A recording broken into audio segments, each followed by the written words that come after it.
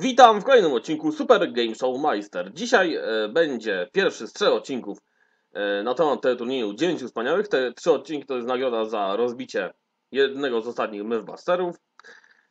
I właśnie, jako że o zasadach już opowiadałem w jednym z poprzednich odcinków, do tego odcinku, do tego odcinka link będzie w opisie, to też e, za bardzo nie ma o czym mówić. Tylko mogę powiedzieć o różnicach, bo grało się wszędzie tak samo. Schemat był ten sam, który już opisywałem. Teraz tylko powiem, dopowiem, że chodziło o kółko i krzyżyk w tym programie i o tyle. I że wygra i samochody, samochody, przede wszystkim samochody. Główna nagroda to samochód. A teraz właśnie takie trzy odcinki. W każdym odcinek będzie składał z sześciu faktów na temat różnych wersji tego programu. Tak więc zaczynamy. Jeden. Polska wersja te turnieju Hollywood Quest nazywała się Dziewięciu Wspaniałych. Była emitowana na antenie telewizji Polsat w latach 1997-98 albo 9. Prowadzili ją Wojciech Malajkat i Robert Rozmus.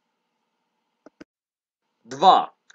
Oryginalny show zadebiutował 16 października 1966 roku na antenie NBC i był tam nadawany do roku 1980. Prowadził go Peter Marshall. 3. Program powrócił do NBC w latach 1983-84. W sumie w NBC wyprodukowano 3536 odcinków. 4. W latach 1986, 1989 oraz 1998-2004 była emitowana wersja w konsorcjum. Również wyprodukowano ponad 1000 odcinków.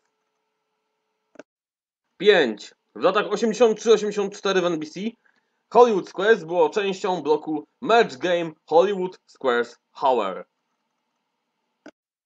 6. E, W roku 1969 w paśmie Saturday Morning e, była emitowana wersja dla dzieci The Storybook Squares. I to tyle ciekawostek w pierwszym odcinku. Dziękuję Wam za uwagę. Oglądajcie, subskrybujcie, zostawcie łapki w górę. Do zobaczenia.